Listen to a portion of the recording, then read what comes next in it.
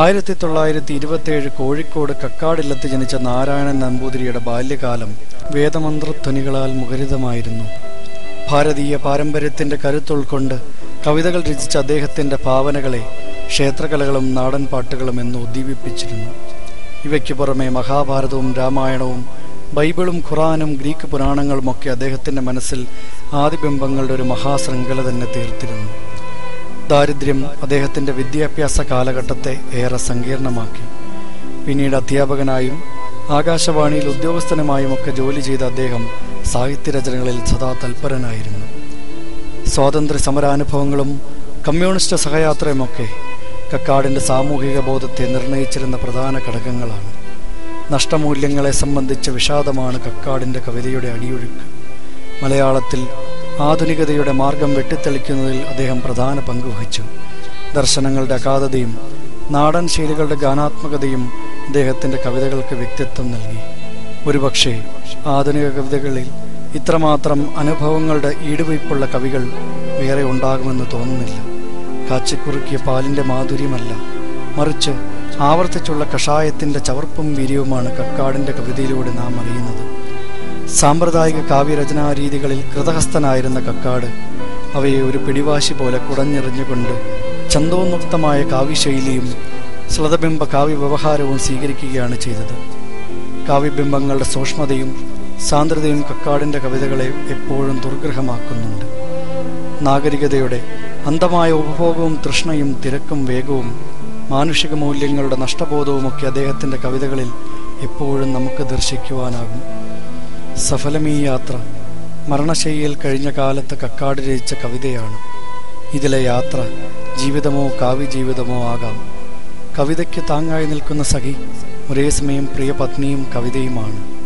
രോഗാതുരമായ ദേഹത്തിൽ നിന്നും എപ്പോൾ വേണമെങ്കിലും ജീവൻ പറന്നു പോകുമെന്ന് പ്രതീക്ഷിക്കുന്ന കവി മരണത്തെ മുഖാമുഖം കാണുന്ന ചരമഘട്ടത്തിൽ നിന്നുകൊണ്ട് കഴിഞ്ഞകാല ജീവിതാനുഭവങ്ങൾ അയവിറക്കുന്ന മട്ടിലാണ് ഈ കവിത രചിക്കപ്പെട്ടിരിക്കുന്നത്. ലോകഗതിയുടെ നശ്വരതയും വ്യർത്ഥതയും കവിയുടെ മനസ്സിലുണർത്തിയ നഷ്ടബോധവും നൈരാശ്യവും ഭയവും വിഷാദവും ഒക്കെ ചേർന്ന് ഭാവതീവ്രമാക്കിയ ഈ കവിത നമുക്ക് സമ്മാനിച്ചുകൊണ്ട് ആയിരത്തി തൊള്ളായിരത്തി എൺപത്തിയേഴിൽ അദ്ദേഹം ഈ ലോകത്തോട് വിട പറഞ്ഞു. പച്ചയായ ജീവിതാനുഭവങ്ങളെ സന്നിവേശിപ്പിച്ച് വിഷാദഭരിതമായ മുഹൂർത്തങ്ങളിലൂടെ കടന്നുപോകുന്ന ഈ കവിത ഇന്നും മലയാളികളുടെ മനസ്സിൽ അനശ്വരമായി നിലകൊള്ളുന്നു. സഫലമീ യാത്ര.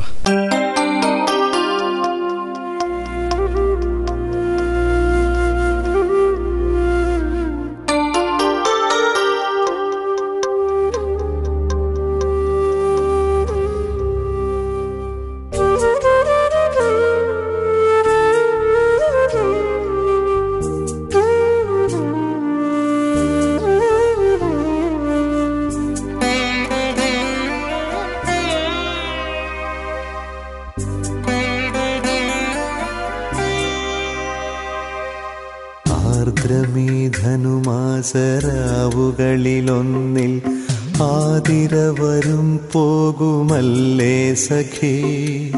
ആർദ്രമീധനുമാസരാവുകളിലൊന്നിൽ ആതിരവരും പോകുമല്ലേ സഖി? ഞാനീ ജനലഴി പിടിച്ചൊട്ടു നിൽക്കട്ടെ നീ എന്നണിയത്തു തന്നെ നിൽക്കൂ. പഴങ്കൂടൊരു ചുമക്കടിയിടറി വീഴാം. വ്രണിതമാം കണ്ഠത്തിൽ ഇന്നു നോവിത്തിരി കുറവുണ്ട്. വളരെ നാൾ കൂടി ഞാൻ നേരിയ നിലാവിന്റെ പിന്നിലെ അനന്തതയിലലിയും ഇരുൾ.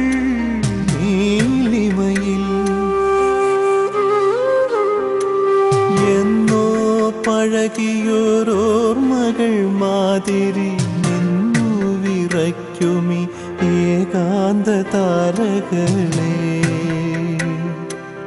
ഇന്നൊട്ടു കാണട്ടെ നീ തൊട്ടു നിൽക്കൂ.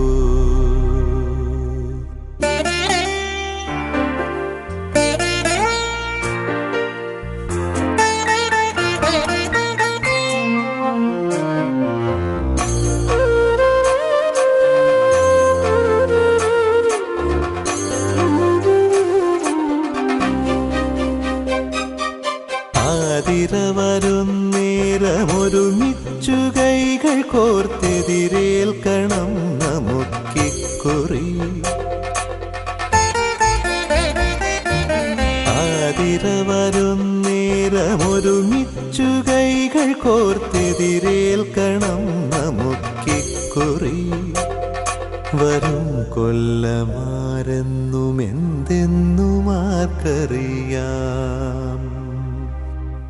എന്തെന്നും ആർക്കറിയാം ആതിര വരുന്നേരമൊരുമിച്ചു കൈകൾ കോർത്തെതിരേൽക്കണം നമുക്കിക്കുറി വരും കൊല്ലമാരെന്നും എന്തെന്നും ആർക്കറിയാം എന്ത് നിൻമിഴീണ തുളുമ്പുന്നുവോ സഖി? ചന്തം നിറയ്ക്കുകേ ശിഷ്ടദിനങ്ങളിൽ.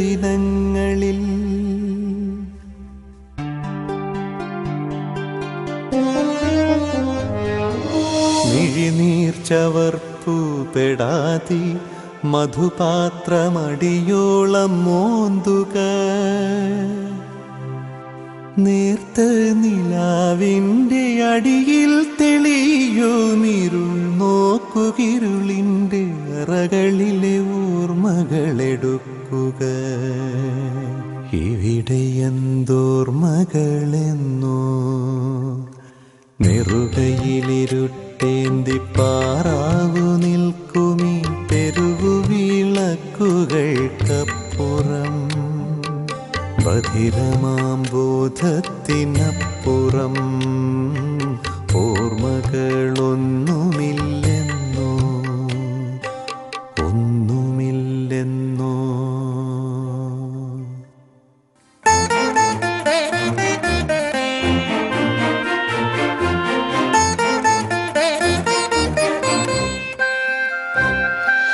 പല നിറം കാച്ചിയ വളകളണിഞ്ഞു മഴിച്ചും പല മുഖം കൊണ്ടു നാം തമ്മിലെതിരേറ്റും.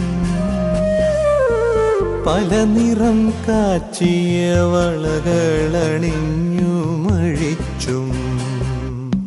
പലമുഖം കൊണ്ടു നാം തമ്മിലെതിരേറ്റും. നൊന്തും പരസ്പരം നോവിച്ചും പതിറ്റാണ്ടുകൾ നീണ്ടൊരി അറിയാത്ത വഴികളിൽ എത്ര കൊഴുത്ത ചവർപ്പു കുടിച്ചു വറ്റിച്ചു നാം. ഇത്തിരി ശാന്തി തൻ ശർക്കര നുണയുവാൻ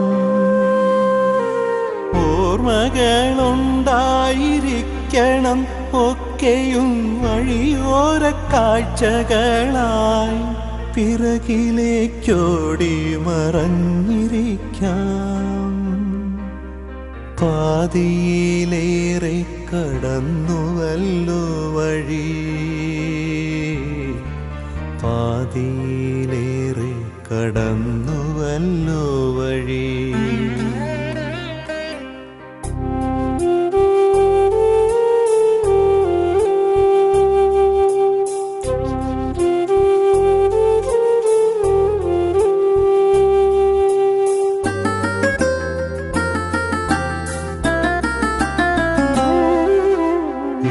ഏതോ പുഴയുടെ കളകളത്തിൽ ഏതോ മലമുടി പോക്കുവെയിലിൽ ഏതോ നിഷേധത്തിൻ തേക്കുപാട്ടിൽ ഏതോ വിജനമാ വഴിവക്കിൽ നിഴലുകൾ നീങ്ങുമൊരു താന്തമാമന്തിയിൽ പടവുകളായി കിഴക്കേറെ ഉയർന്നു പോയി കടുനീലവിണ്ണിൽ അലിഞ്ഞു പോ. മലകളിൽ പടവുകളായി കിഴക്കേറെ ഉയർന്നു പോയി കടുനീലവിണ്ണിൽ അലിഞ്ഞു പോ. മലകളിൽ പുളയും കുരുത്തോല തെളിയുന്ന പന്തങ്ങൾ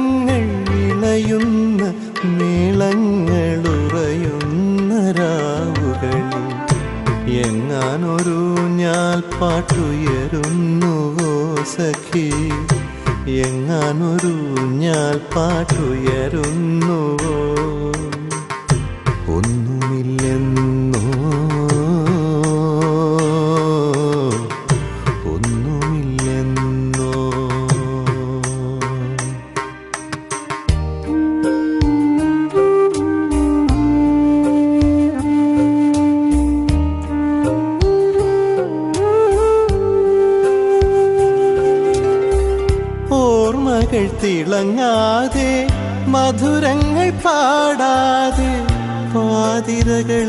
ഇളകാതെ അറിയാതെ ആർദ്രയമാർദ്ര വരുമെന്നോ സഖി. ആർദ്രയാം ആർദ്ര വരുമെന്നോ സഖി.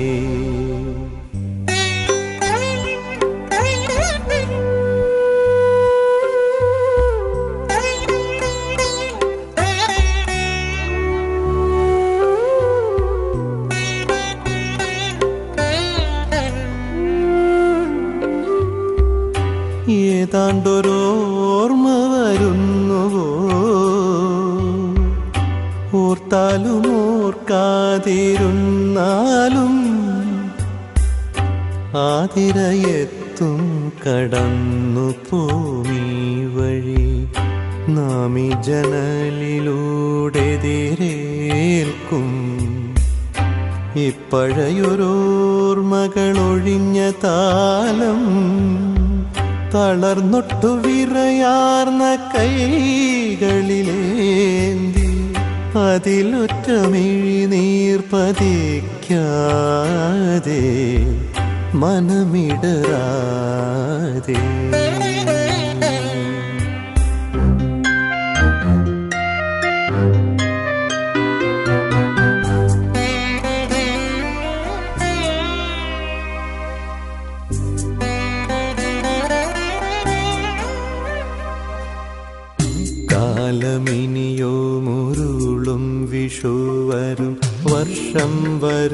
തിരുവോണം വരും.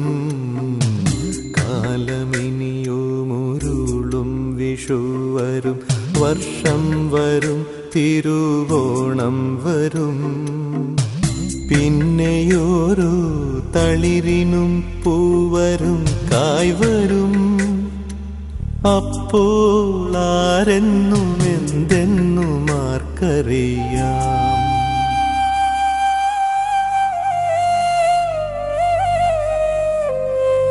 നമുക്കിപ്പൊഴി ആർദ്രയെ ശാന്തരായി സൗമ്യരായി എതിരേൽക്കാം. വരിക സഖി അരികത്തു ചേർന്നു നിൽക്കൂ. പഴയൊരു മന്ത്രം സ്മരിക്കാം അന്യോന്യമൊന്നുവടികളായി നിൽക്കാം. ആ സഫലമീ യാത്ര ആ സഫലമീ